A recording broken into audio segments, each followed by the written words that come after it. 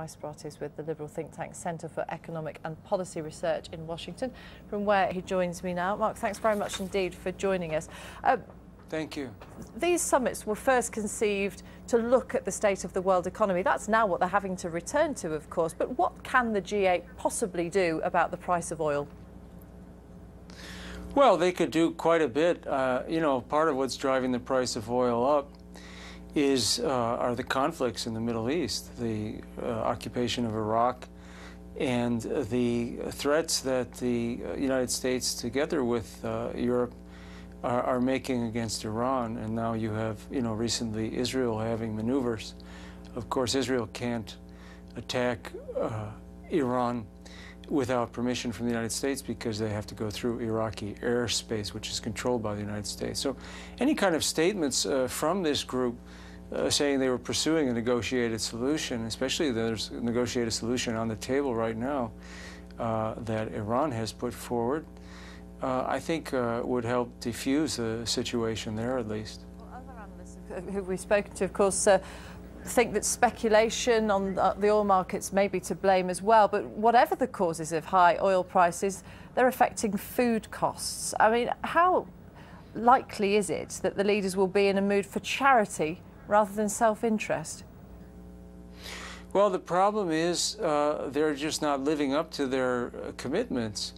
You know, the United States in particular is uh, spending 600 uh, a year on its military, 150 uh, on the Iraq war, and 4 billion on aid to Africa.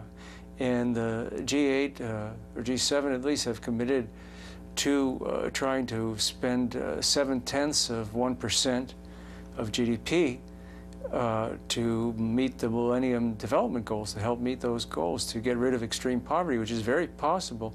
That would be about 100 billion for the United States. So you can see they're nowhere near living up to these uh, commitments at this time.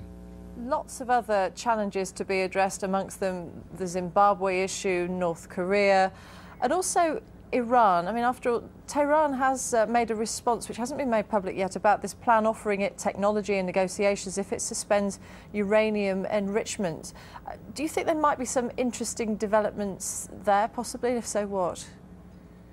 Well, it's possible, but I, the thing that makes me pessimistic is that in May, the Iranian ambassador offered uh, publicly to consider a deal in which there would be an international consortium that would enrich uranium uh, in Iran and be controlled internationally.